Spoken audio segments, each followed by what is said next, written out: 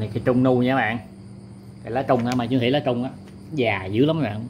Cây này liền sẹo ờ, gần như trăm rồi. Mấy sẹo chuyển ngọn rồi, nó liền sẹo hết trơn rồi. Cây này nó nhỏ xíu các bạn. Cái thân nó nhỏ nhưng mà nhìn nó có duyên lắm. Hồi xưa cây này có thể là nó trồng từ cái rễ luôn á. Nhưng mà nó làm rất là lâu. Cây này mình nghĩ làm cũng khá lâu á. Cái cốt chỗ này nó làm khá là lâu nè. Tại trên cái thân nhỏ mà nó làm cái cốt ờ, bằng đường bằng cái thân chính luôn rồi với lại mấy cái bệ dĩa này nè. Mấy cái dĩa này làm theo kiểu phong, giống như ngoài Hà Nội. Vậy. chứ không phải lập trồng mua luôn cái này à, phân à, phân dĩa. Cái này nếu mà mình giỏi có thể mình lặt bớt một số lá. Phải gỡ đi, mai mùa này nó nó vàng lá, rụng lá. Mùa này nhìn nó buồn lắm bạn. Mùa này cây nhìn nó buồn thấy ghê. Cây nó nhìn không sung.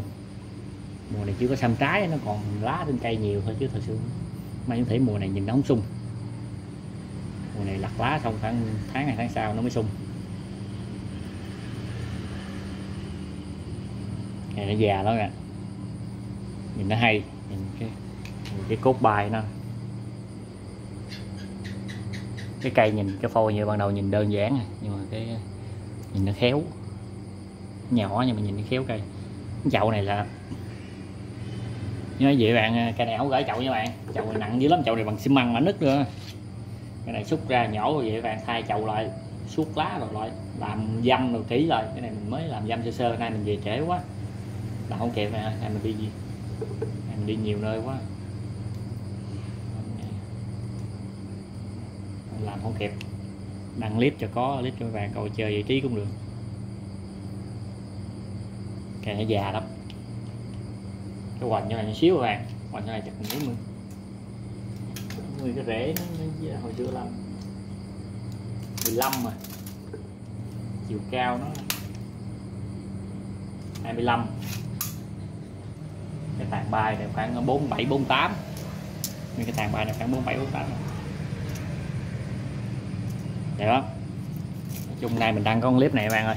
Clip của cây này chơi cho các bạn, trò chơi giải trí cũng được. Cây rất là già.